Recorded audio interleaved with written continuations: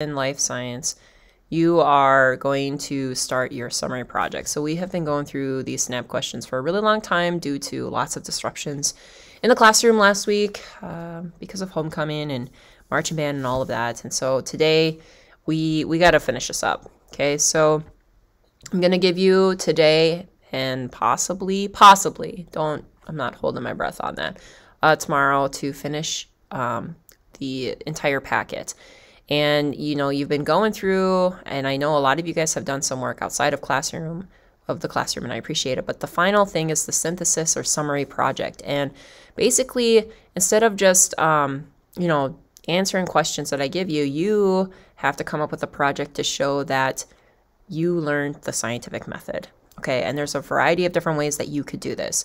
Um, number one you could come up with your own experiments and literally walk um, through all the steps of the scientific method. You know, asking a question, um, form an hypothesis, how would you set up this experiment, only changing one variable, and so on and so forth.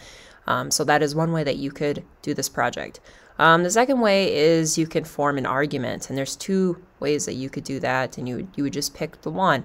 But it says here, write a one-page scientific argument for or against ideas in this activity and then use and cite evidence to support your argument. So, like, um, you know, asking a question, did you feel that when we were going through this project that it did a good job, you know, asking, you know, getting the point across of, of asking questions.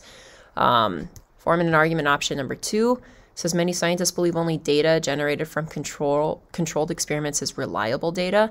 So remember that a controlled experiment is where only one thing is changed, one variable. So if you're looking at how sunlight affects plants, the only thing you're changing is sunlight. Everything else is the same. The same soil, the same amount of soil, the same water, the same seeds, the same container, um, and, and so on and so forth.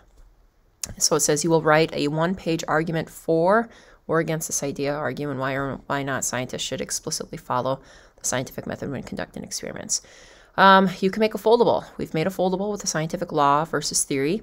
So your foldable would contain the five steps of the scientific method.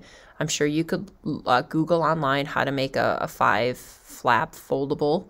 Um, and you have to make sure it, it includes exercises important to design in that controlled experiment, like how do you identify your variables, analyzing data, so on and so forth.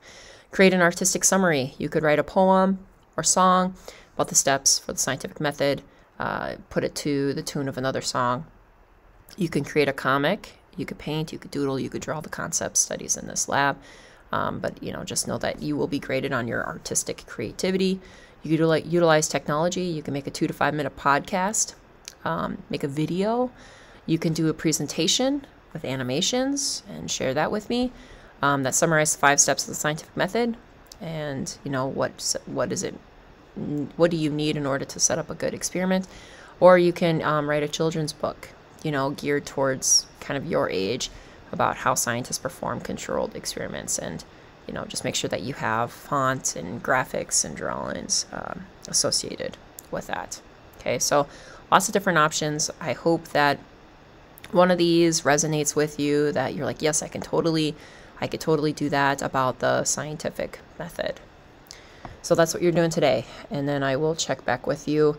Um, if it's just a few of you that need to, then I'll just give you a day, but I'm not like, I won't give you class time. We really got to get going here on uh, chapter, starting in our book, The Characteristics of Life. I'm, I'm really excited to get started um, on that. So.